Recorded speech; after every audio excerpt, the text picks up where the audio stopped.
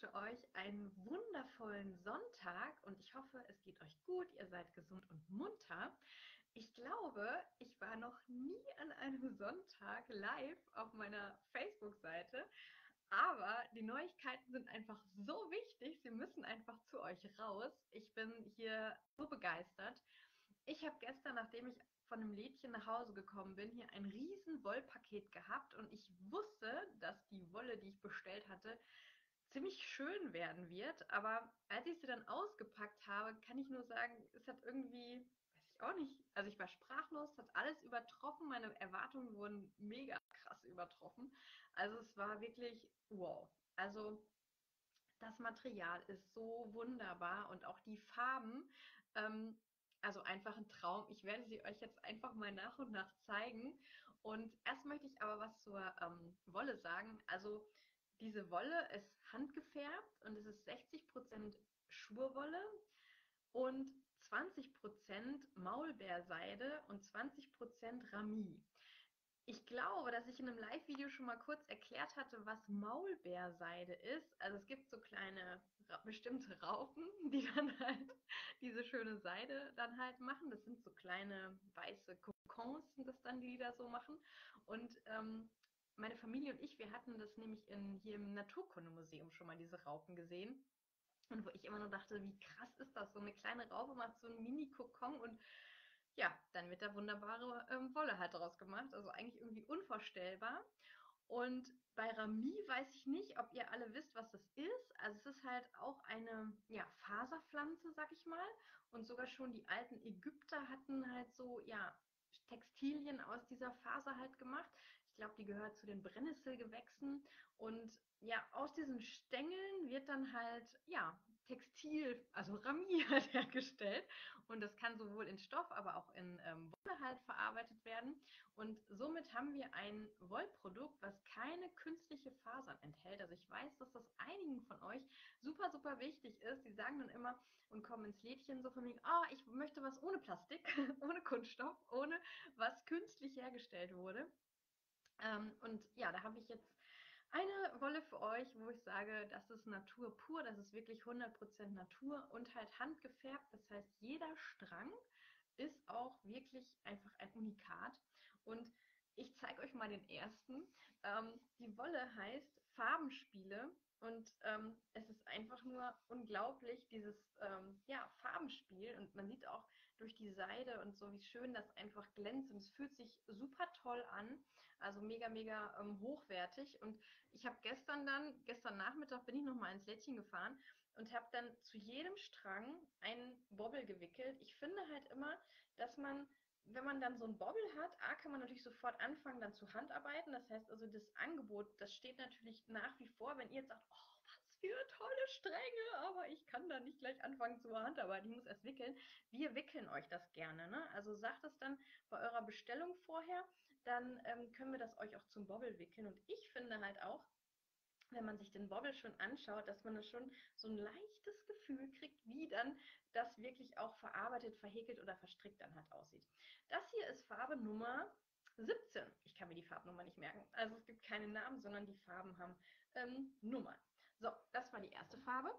Ähm, ich konnte mich nicht entscheiden, welchen Strang ich denn jetzt äh, mal anstricken sollte für ein Muster.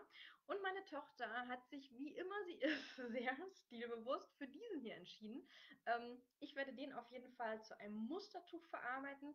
Ähm, ich weiß noch nicht genau, was ich mache. Vielleicht mache ich auch irgendwie so einen Mustermix, dass man einfach mal sieht, wie das so ja, in verschiedenen Mustern irgendwie aussieht ich bin halt immer ein Freund davon, wenn ich schon so ähm, tolle Wolle habe, dass dann halt auch das, was ich quasi daraus mache, eher so ein bisschen zurückhaltender ist, damit halt auch die Wolle total wirkt. Also deswegen, ich weiß es noch gar nicht, was ich ähm, daraus mache. Also, das ist Farbe 13 und Farbe 13 werde ich annadeln. Meine Tochter hat sich da äh, für entschieden und meinte, Mama, das ist die schönste, mach das mal.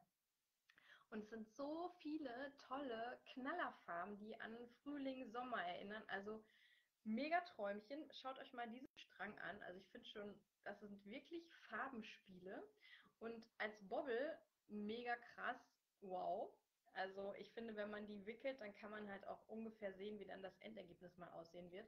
Also da habe ich schon gedacht, wow, der ist richtig cool. Also durch diese ja, Farbeffekte, durch dieses, ähm, ja, wie kann man die Farbe nennen? Limonengrün oder so dieses helle ist das einfach mega, mega, mega cool. Achso, das ist übrigens Farbe Nummer 11.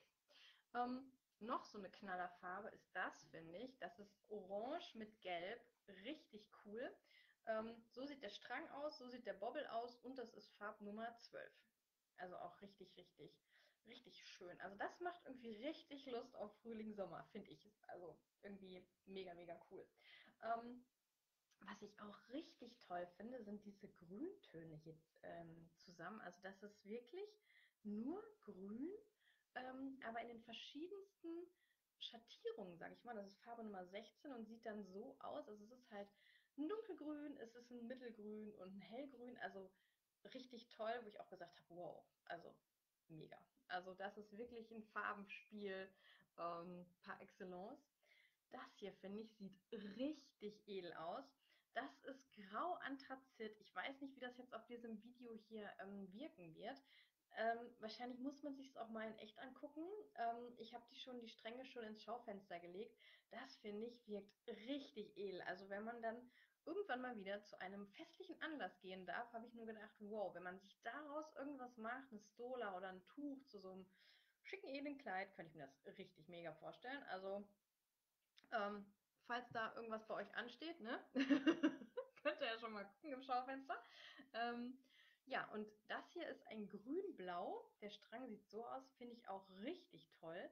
Also so ein richtig schönes Mittelblau, ja, mit grün und da ist auch ein Teil, finde ich, dass das auch so eine Art, ja, grau irgendwie mit drin ist. Also hier oben sieht man es, glaube ich, ganz gut. Das ist wirklich ein richtig schönes Farbenspiel und vor allem durch diese ja, wie soll ich sagen, durch diese hochwertigen Materialien und ähm, diesen natürlichen Glanz, die diese Wolle hat, einfach, einfach nur wow, kann ich nur sagen. So, die letzte Farbe, also es gibt acht Farben, acht Stränge ähm, habe ich hier. Das ist ähm, blau mit grün. Ähm, ich weiß nicht, ob das so gut das Grün hier so rauskommt. Vielleicht drehe ich ihn mal andersrum, kann man es dann besser sehen. Irgendwie sieht er aus, auf dem Video hier nur blau aus. Also, das, man sieht es hier gerade nicht so. Also da ist halt auch grün drin. Ich weiß nicht, irgendwie, genau. Also das ist quasi ein grün-blauer. Ich habe die Bobbel alle schon unter richtig schönem Licht fotografiert. Also hier in dem Video sieht er für mich total anders aus als in echt. Ähm, dann guckt doch einfach mal in meinem Online-Shop oder auf der Facebook-Seite. Da habe ich auch schon die ganzen Bobbel und die Stränge halt zusammen in einem Foto halt auch veröffentlicht. Also da kann man sich die Farben nochmal angucken. Ich finde sie einfach, wow, wunder, wunderschön. Mm, ich bin gespannt, was ihr für Ideen habt und wo ihr jetzt sagt, hey ho, das ist meine Lieblingsfarbe. Also ich konnte mich nicht so richtig entscheiden. Die Entscheidung hat dann meine Tochter übernommen, welchen ich dann anstricken werde. Ich werde euch natürlich dann auch das Muster, was sich so langsam entwickelt, werde ich euch natürlich auch zeigen. Und wenn ihr bei uns in der Ecke wohnt, da Leopoldshöhe, Asemissen rum die Ecke, dann ähm, könnt ihr super gerne noch mal am Schaufenster vorbeigehen. Da liegen nämlich die Stränge schon drin und ich finde, die sehen einfach ja, super, super schön aus. Wenn ihr am Schaufenster vorbeikommt und sagt, uh, warum sind denn da so viele Eulen eigentlich bei denen im Schaufenster? Was ist das denn? das ist unsere Demenz-Eulen-Aktion, also für alle, die es noch nicht mitbekommen haben. Wir möchten gerne ja, ganz, ganz viele Eulen zusammenbekommen, die dann halt an Demenzpatienten ähm, ausgegeben werden, dass wir denen halt und den Angehörigen natürlich auch eine Freude damit machen können. Und im Moment suchen wir ganz, ganz viele Freiwillige, die halt Eulen häkeln oder stricken. Mein Kollege Daniel hat zwei Anleitungen entwickelt und die bekommt ihr auch super gerne von uns. Das heißt also, wer jetzt an der Aktion gerne mitmachen möchte, dann meldet euch doch einfach bei uns und dann bekommt ihr auch kostenfrei die Anleitung und dann könnt ihr mithäkeln und stricken wir haben schon mega krasse Resonanz gekriegt. Also teilweise diese Woche hat das Telefon nicht mehr stillgestanden. Ich habe ganz viele E-Mails gekriegt. Also es war wirklich der Wahnsinn, wie viele Menschen sich an dieser Aktion beteiligen möchten. Wir sind total dankbar dafür, dass einfach so viele sagen, jo, ich mache da mit. Und wenn du jetzt das Video siehst und sagst, oh, das hört sich irgendwie spannend an, ich würde auch gerne eine Eule häkeln oder stricken und die dann spenden, dann melde dich super gerne bei uns und dann bekommst du auch eine Anleitung von uns. Also, ich wünsche euch jetzt erstmal weiterhin einen super schönen Sonntag. Macht's gut und bleibt kreativ. Bis dann. Tschüss, eure Sabrina.